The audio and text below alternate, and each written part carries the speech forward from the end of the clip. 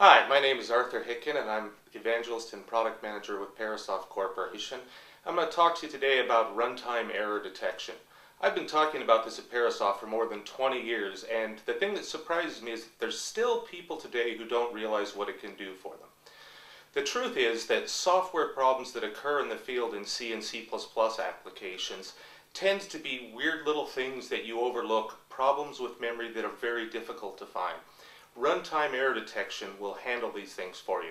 If you have memory leaks, pointer problems, overflows, uh, underruns, overwrites, anything like that, these are problems that will be exploited in the field. They'll happen at weird times in weird places, and they're a big open door waiting for hackers to come in and attack your application.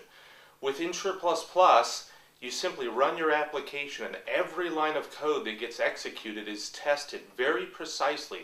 It knows exactly which block of memory belongs to which pointer and whether or not you have the potential for an illegal access. So run Insure on your application and clean it up perfectly. You'll be safer, faster, and more stable.